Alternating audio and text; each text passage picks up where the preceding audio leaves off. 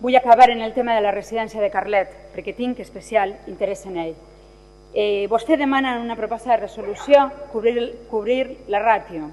Efectivament, la ràtio està coberta, però el problema no és cobrir la ràtio. El problema és que la ràtio per a aquesta residència és insuficient.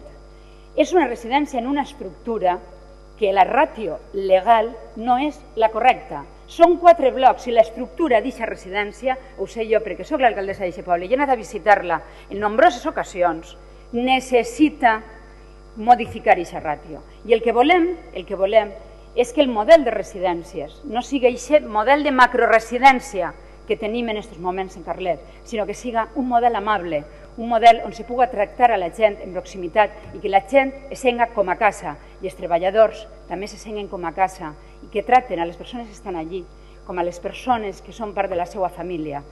I el trasllat d'aquesta persona afectada ha sigut voluntat de la seva família que ho ha demanat.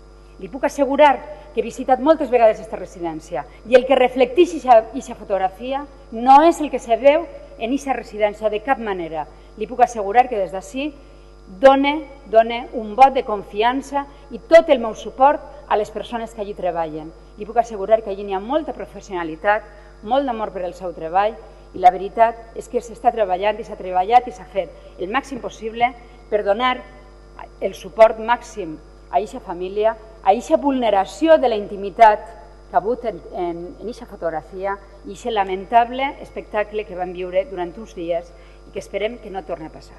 Moltes gràcies. Bueno, moltíssimes gràcies per el recolzament als treballadors de la residència, pel recolzament al director que ha presentat ell voluntàriament la seva dimissió i dir-los que el, el tema de la ràtio, el, el que s'està treballant també és per, és per baixar-lo Precisament des del mes d'abril ja se va prendre la determinació de no acceptar més ingressos.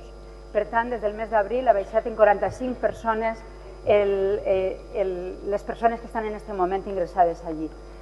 És un problema difícil de solventar, el que hi ha en la residència de Carlet, és un problema que ve arrossegant-se si tiren mà de la, de, la meroteca, són reivindicacions històriques les que venen, de fet els titulars de, de les reivindicacions laborals moltes vegades es confonen les que venen arrossegant-se des de l'any 2015, en el que han eixit eh, en aquests dies, però sí, efectivament, me consta que des del Consell s'està treballant i molt per solucionar aquest problema i de veritat agraïsc molt les mostres de suport tant als treballadors com a la direcció com al el problema que s'està patint en la residència de Carles. De veritat, moltes gràcies i agraïsc el seu suport.